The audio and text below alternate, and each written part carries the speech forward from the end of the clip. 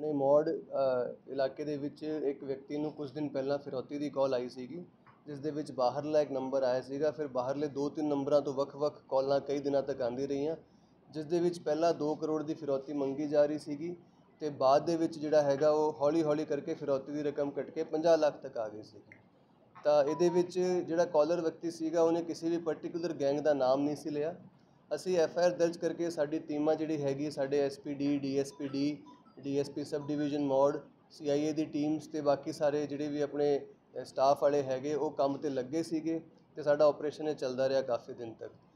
Finally ਇਹ ਜਿਹੜੇ ਹੈਗੇ ਅਸੀਂ, ਇਹ ਜਿਹੜਾ ਕਾਲਰ ਸੀਗਾ ਤੇ ਇਹਦੇ ਸਾਥੀ ਸੀਗੇ, ਸਾਰਾ ਮੈਟਰ ਕਰੈਕ ਕਰਨ ਚ ਕਾਮਯਾਬ ਹੋਏ। ਤਾਂ ਇਹ ਅਸਲ 'ਚ ਕਹਾਣੀ ਇਹ ਨਿਕਲੀ ਕਿ ਇੱਕ ਵਿਅਕਤੀ ਸੀਗਾ, ਇੱਕ ਮੁੰਡਾ ਜਿਹੜਾ ਕਿ ਮੌੜ ਤੋਂ ਗਿਆ ਸੀ ਆਈਲੈਟਸ ਕਰਕੇ ਬਾਹਰ।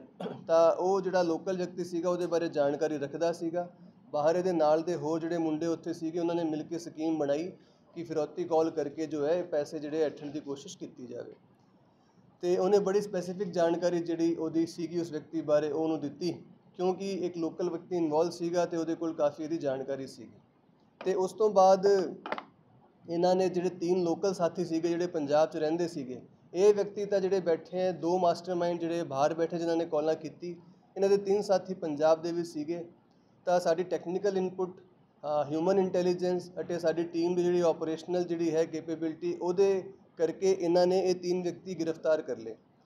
ਜਿਹੜੇ ਵਿਅਕਤੀ ਗ੍ਰਿਫਤਾਰ ਹੋਏ, ਇਹਨਾਂ ਦੇ ਨਾਂ ਹੈਗੇ ਮਨਿੰਦਰ ਸਿੰਘ ਗੁਰਫ ਅਮਨ, ਇਹ ਰਹਿਣ ਵਾਲਾ ਹੈਗਾ ਜ਼ਿਲ੍ਹਾ ਐਸਬੀਐਸ ਨਗਰ ਦਾ।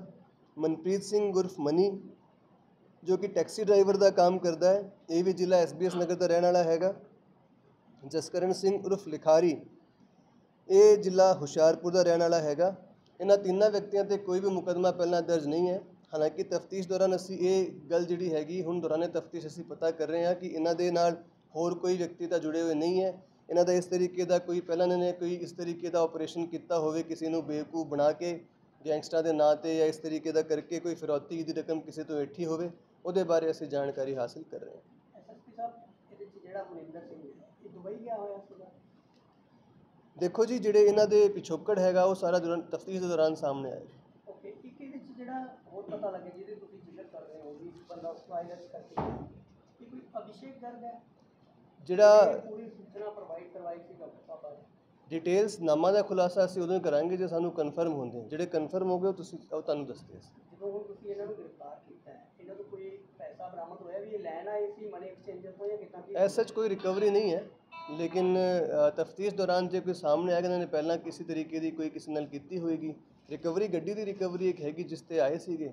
ਉਹ i20 ਕਾਰ ਜਿਹੜੀ ਮਨੀ ਦੀ ਹੈਗੀ ਹੈ, ਉਹ ਅਸੀਂ ਰਿਕਵਰ ਕਰ ਚੁੱਕੇ ਹਾਂ ਤੇ ਬਾਕੀ ਰਿਕਵਰੀ ਤਫਤੀਸ਼ ਦੌਰਾਨ ਹੀ ਹੋਈ ਇਹ ਗ੍ਰਿਫਤਾਰੀ ਦੀ ਲੋਕੇਸ਼ਨ ਜਿਹੜੀ ਹੈਗੀ ਹੈ, ਉਹ ਆਪਣੇ ਆਪਣੇ ਜ਼ਿਲ੍ਹੇ ਤੋਂ ਹੀ ਕੀਤੇ ਗਏ ਨੇ ਗ੍ਰਿਫਤਾਰ ਜੀ। ਦੱਸ ਦਾਂਗੇ ਬਾਅਦ ਚ। ਸਪੈਸੀਫਿਕ ਉਹ ਪ੍ਰੈਸ ਨੋਟ ਦੇ ਵਿੱਚ ਤੁਸੀਂ ਦੇਖ ਲਓ। ਸਰ ਕੁੱਲ ਕਿੰਨੀ ਰਕਮ ਦੀ ਮੰਗ ਕੀਤੀ ਗਈ ਸੀਗੀ, ਜਿਹੜੀ ਇਹ ਸੀਗੀ? ਜਿਹੜੇ ਡਾਕਟਰਸ ਨੇ, ਉਹ ਪ੍ਰਾਈਵੇਟ ਡਾਕਟਰ ਨੇ ਕਿਸ ਚੀਜ਼ ਦੇ ਡਾਕਟਰ ਨੇ? ਇਹ ਵਿਅਕਤੀ ਬਾਰੇ ਅਸੀਂ ਕੋਈ ਖੁਲਾਸਾ ਨਹੀਂ ਕਰ ਰਹੇ ਜੀ ਕਿਉਂਕਿ ਉਹਦੀ ਸੀਕ੍ਰੇਸੀ ਇੰਪੋਰਟੈਂਟ ਹੁੰਦੀ ਉਹ ਅਸੀਂ ਕੋਈ ਜਾਣਕਾਰੀ ਇੱਕ ਕਾਲ ਜਿਹੜੀ ਕੀਤੀ ਗਈ ਹੈ ਚੌਥੇ ਨੰਬਰ ਤੇ ਸੀ ਚੌਥੇ ਨੰਬਰ ਤੇ ਆਪਣਾ ਬਾਹਰ ਦੇ ਨੰਬਰ ਤੇ। ਬਾਹਰਲੇ ਨੰਬਰਾਂ ਤੋਂ ਕਾਲ ਆਈ ਸੀ ਜੀ। ਕਾਲ ਆਈ ਸੀ WhatsApp ਕਾਲ ਆਈ ਸੀ ਵਾਇਸ ਕਾਲ ਸੀ ਜਾਂ ਕਿਸ ਤਰ੍ਹਾਂ? ਵੱਖ-ਵੱਖ ਵੱਖ-ਵੱਖ ਤਰੀਕੇ ਦੀ ਕਾਲਾਂ ਆਈ ਸੀ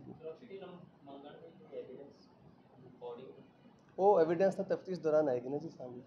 ਇਹਦੇ ਚ ਇੱਕ ਗੱਲ ਹੋਰ ਐਵੀਡੈਂਸ ਕਦੋਂ ਤੱਕ ਜਿਹੜਾ ਜੋ ਵੀ ਟਾਈਮਲਾਈਨਸ ਹੈਗੀ ਇਨਵੈਸਟੀਗੇਸ਼ਨ ਦੀ ਉਹਦੇ ਅਕੋਰਡਿੰਗ ਐਕਟ ਦੇ ਅਕੋਰਡਿੰਗ ਅਸੀਂ ਪੂਰੀ ਕਰਦੇ ਹਾਂ।